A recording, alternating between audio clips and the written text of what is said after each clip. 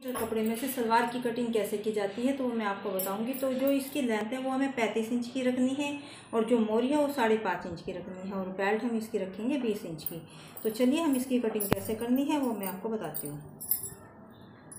तो देखिए, सबसे पहले हमें इस तरह से डबल कपड़ा रखना है और इसको हमें इस तरीके से पहले बत्तीस बत्तीस इंच में इसको हमें डबल फोल्ड करना है। ये बत्तीस बत्तीस इंच में हम इसको फोल्ड करेंगे। पैंतीस में से हमने इसमें तीन माइनस किए। तो हमारे बच्चे थर्टी टू और जो हम छत्तीस और छत्तीस और छत्तीस से ऊपर की सलवार बनाते हैं, उसमें हम माइनस चार करते हैं, लेकिन इसमें हमने तीन किए। उसमें बेल्ट हम आठ इंच की रखते हैं, लेकिन इसमें हम बेल्ट सात इंच की रखेंगे। तो ये हमने बत्तीस बत्तीस इंच में इसको कपड़े को रख दिया है और जो एक्स्ट्रा कपड़ा है, इसकी हम कटिंग कर देंगे। कि ये हम एक्स्ट्रा कपड़े की कटिंग करेंगे इस तरीके से।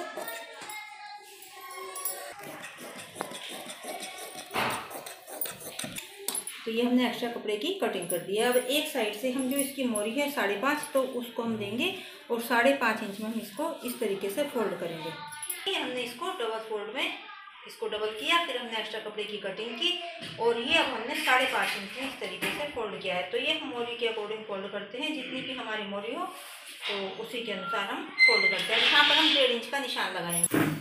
तो देखिए, डेढ़ इंच का निशान हमने मोरी से आगे यहाँ पर लगाया है और डेढ़ इंच का निशान इस तरह से करते हुए एक हम वहाँ लगाएँगे इस साइड, यहाँ पर।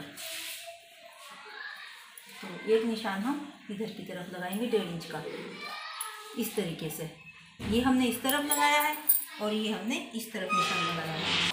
तो देखिए, जो ये डेढ़ इंच का निशान है और इस डेढ़ इंच के निशान के साथ हम इसको एक सीधी लाइन खींचेंगे, इस तरह से करते हुए।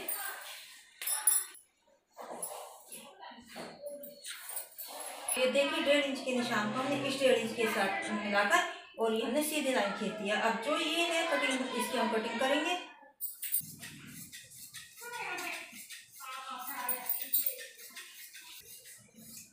तो इस तरीके से हम इसकी कटिंग करेंगे।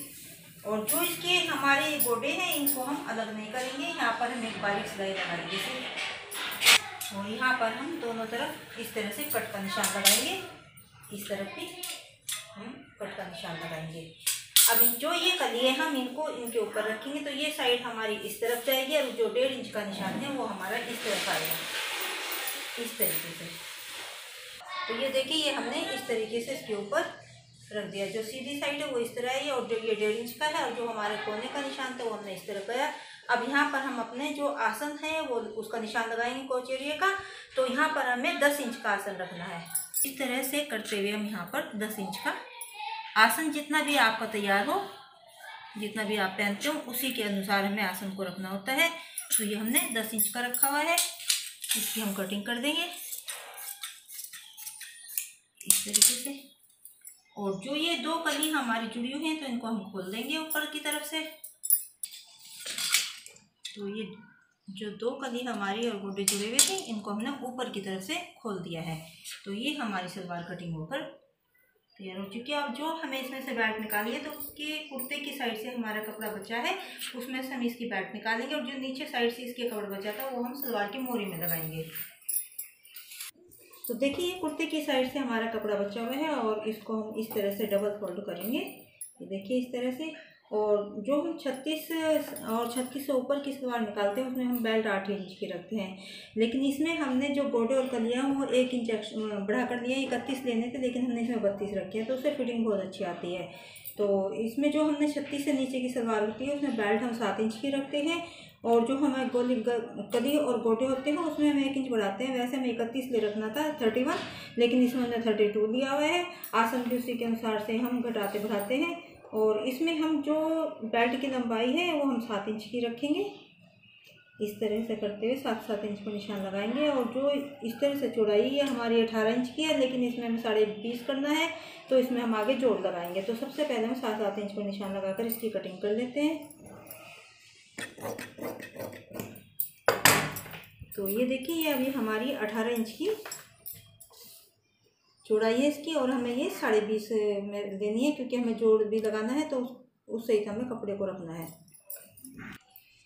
तो ये देखिए हमने सिलाई का कपड़ा इसके ऊपर रखते हुए आधा आधा इंच रखा हुआ है और साढ़े बीस इंच हम इसको इस तरह से देंगे क्योंकि यहाँ पर भी आधा इंच हमें सिलाई के लिए चाहिए और इसकी हम कटिंग कर देंगे। बचाते हैं और थोड़ा कश, हम इसमें जोड़ लगाकर, जो कुर्ते का कपड़ा बचा है, उसका जोड़ लगाकर ये हम सलवार की मोड़ी इसमें से फॉर्म की तैयार करेंगे। तो सलवार हमें कैसे जोड़नी है मैं आपको बताती हूँ। तो देखिए, जो हमने ये गोडे इस तरीके से मोड़े हुए थे, इस तरह फोल्ड किए हुए थे साढ़े पाँच इंच में। सबसे पहले हम इस तरह से इनको पकड़कर एक बारीक सिलाई लगाएँगे। तो देखिए, सबसे पहले हम इस तरह से पकड़ते हुए और यहाँ पर एक बारीक सिलाई लगाएँगे।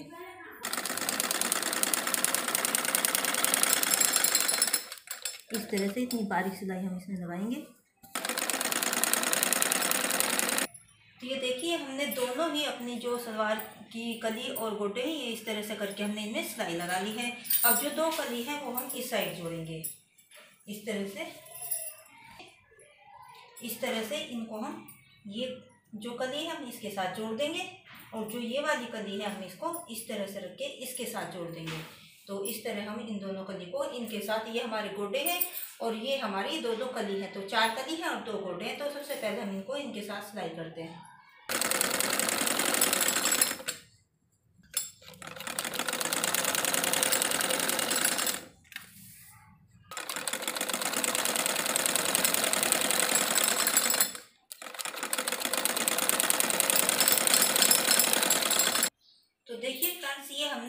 बारीक सिलाई लगाई है और ये हमने कलीस के साथ जोड़ दिया तो दोनों ही हमने पीस इस तरह से हमने इनको जोड़ दिए हैं। अब सबसे पहले जो ये सिलाई है, आसन की, हम दोनों तरफ़ ये सिलाई लगाएँगे, इधर भी और यहाँ भी। और उसके बाद हम अपनी प्लेट डालनी शुरू करेंगे।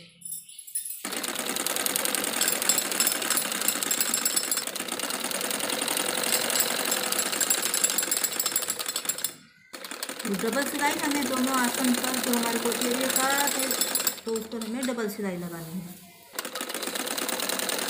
दोनों तरफ़ हम इस तरह से डबल सिलाई लगाएँगे तो ये देखिए, हमने दोनों ही तरफ़ अपने इस तरह से आसन पर सिलाई लगा ली है। अब सबसे पहले हम पीछे की जो प्लेट होती है उसको डालेंगे। ये हम सबसे पहले पीछे की प्लेट डालेंगे, इस तरह से करते हुए अपनी प्लेट को पीछे से डालेंगे। आसन की तरफ़ दोनों का होना चाहिए। इस तरह से हमारी प्लेट होनी चाहिए।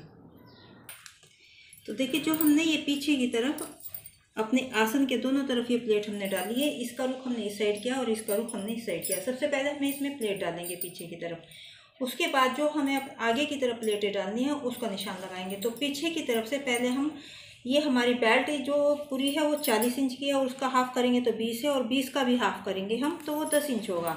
दस में हम डेढ़ इंच प्लस करेंगे तो हमारा होगा साढ़े ग्यारह। तो साढ़े ग्यारह पर एक निशान हम बीच के आसन से यहाँ पर लगाएँगे और एक निशान हम साढ़े ग्यारह पर यहाँ लगाएँगे। तो कितनी भी बेल्ट उसमें हमने डेढ़ इंच प्लस करके और इस तरह से हमें दोनों तरफ़ अपने आसन के दोनों तरफ़ इस तरह निशान लगाना है। तो एक निशान हमने इस साइड लगाया और एक निशान हमने इस साइड लगाया। अब इस निशान तक का जो आगे के, आगे से हमें प्लेट डालनी है तो ये हमारा आगे का ये हमने आगे का आसन है और इस तरह से हमने दोनों प्लेटें, इसका रुख इस साइड होना चाहिए और इन प्लेटों का इस साइड होना चाहिए। तो जो ये निशान हमने लगाया है, इस निशान तक तो हमने पहले प्लस किया दस में तो हमारा साढ़े ग्यारह हुआ। अब हम दस में से माइनस करेंगे तो हमारा होगा साढ़े आठ।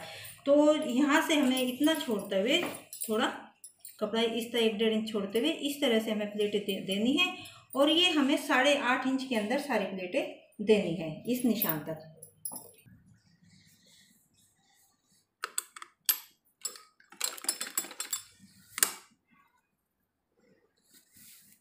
तो ये सभी इस तरह से प्लेटें हम उस निशान तक साढ़े आठ इंच के अंदर लगानी है।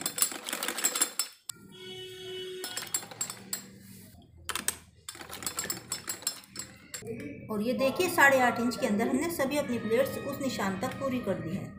अब दूसरी साइड भी हमें इसी तरह से प्लेट डालनी है, उस निशान तक हमें साढ़े आठ इंच के अंदर ये सभी प्लेटें डालनी है। तो बीच के आसन से हमने इन प्लेटों का, हमने जो ये प्लेटें हैं, इनको हमने इस साइड किया और इनको हमने साइड किया।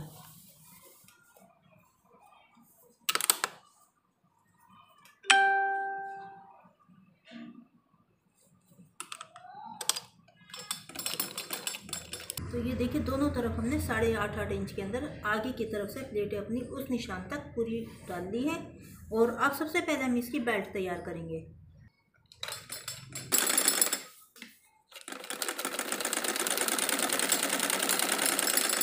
और इस तरीके से हम आगे जो नाड़े या डोरी डालते हैं, ये चिड़िया बनाएँगे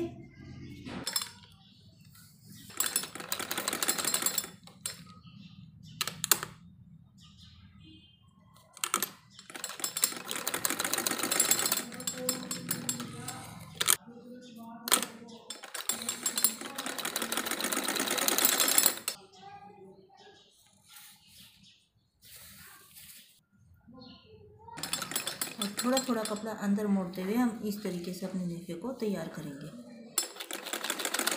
किनारे किनारे पर हम लगाएँगे?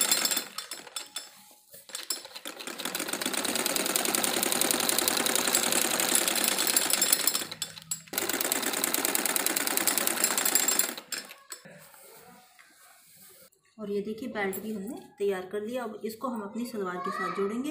अब ये देखिए, पीछे की तरफ़ हम इसमें इस तरह से कट लगाएँगे। और जो हमने पीछे प्लेट डाली थी, उसके साथ इस कट को हम इस तरह से मिलाते हुए सिलाई लगाएँगे। ये देखिए।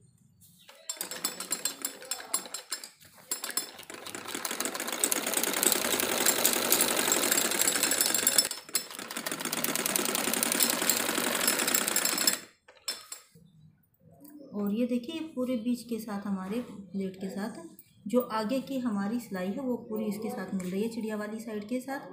अब हम इसमें पूरी में पैड में जोड़ देते हैं।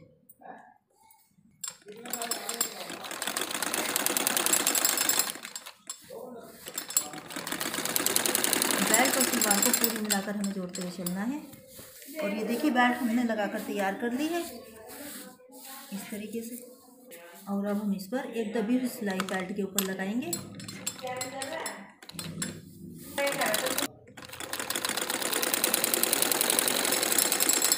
और ये देखिए, तभी हुई सिलाई पे हमने इस पर बेल्ट पर अपनी लगा दी है।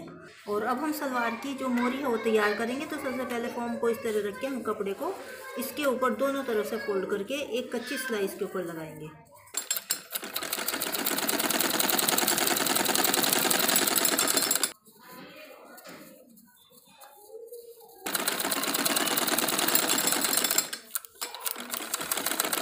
देखिए फॉर्म हमने दोनों तैयार कर लिया अब हम इसको अपनी सलवार के साथ जोड़ेंगे। तो देखिए, सबसे पहले हमने अपनी पैंतीस इंच की तैयार लंबाई पर निशान लगाया। तो ये निशान हमने लगाया हुआ है और ये बीच में हमने मार्क दिया है, ऐसे ही हमने अपनी जो सलवार की फॉर्म है, उस पर भी हमने निशान लगाया हुआ है। तो बीच के निशान को, इस बीच के निशान के साथ मिलाते हुए हम सलवार की मोरी को जोड़ेंगे।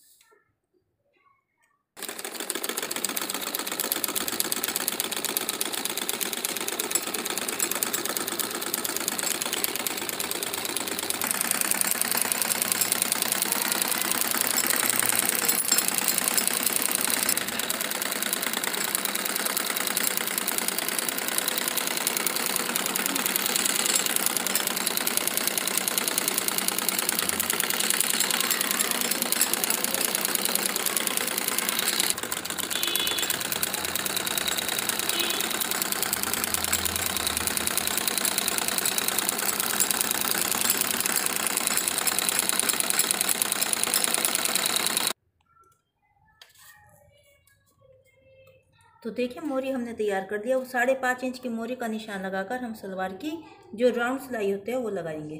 और ये साढ़े पाँच इंच का हम मोरी का निशान लगाकर अब इस तरह से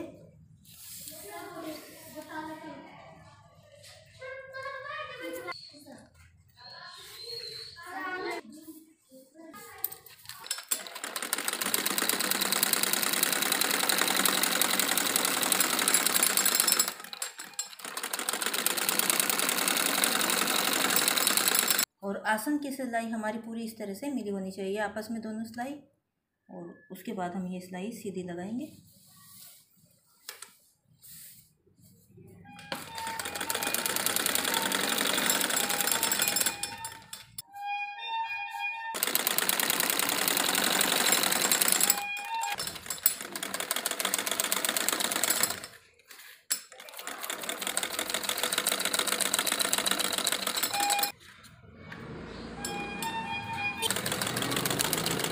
सिलाई हम इसके ऊपर लगाएँगे।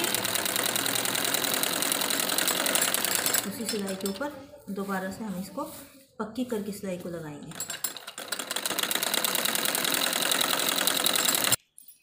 तो देखिए फ्रेंड हमने इसको किस तरह स्टेप बाय स्टेप इसकी आसान तरीके से दो मीटर कपड़े में से सलवार की कटिंग भी की है और इसकी स्टिचिंग भी हमने की है। ये देखिए बेल्ट वगैरह हमने कितने अच्छे तरीके से इसको लगाई है और इसकी प्लेटें भी सही गिर गई हैं तो ये लग नहीं ऐसी नहीं लग रही कि हमने कपड़े में बनाई है इसको। तो ये दो मीटर कपड़े में से है और जो इसकी बेल्ट है वो हमने इसके कुर्ते का कपड़ा बचा था, उसमें से बनाई है और जो सलवार की मोरी का इसकी साइड से कपड़ा बचा था, उसकी हमने लगाकर इसको सलवार को पूरा किया है। तो ये देखिए कितनी अच्छी लग रही है बनने के बाद ये सलवार और इस तरह से कई सलवारें मैंने कपड़े के अकॉर्डिंग उसकी कटिंग और स्टिचिंग की हुई है तो सिंपल बिना बेल्ट की सलवार की भी मैंने वीडियो अपलोड की हुई है। आप simple salwar semi Patiala salwar, full Patiala salwar कई तरह की वीडियो मैंने इस तरह से कपड़े के अकॉर्डिंग बनाकर उनको, सलवारों को कटिंग की है और उनकी स्टिचिंग की है। तो आप मेरी वीडियो पहले देख सकते हैं। तो इस तरह से आप कोई भी दो मीटर कपड़े में से सलवार को कैसे कटिंग करें और स्टिचिंग करें, इस तरह से आप देखेंगे। तो आप बड़ी आसानी के साथ कर सकते हैं। आपको हमारी वीडियो पसंद आई हो तो लाइक और शेयर ज़रूर करें। हमारे चैनल को सब्सक्राइब करें। तो मिलते हैं नेक्स्ट वीडियो में। धन्यवाद।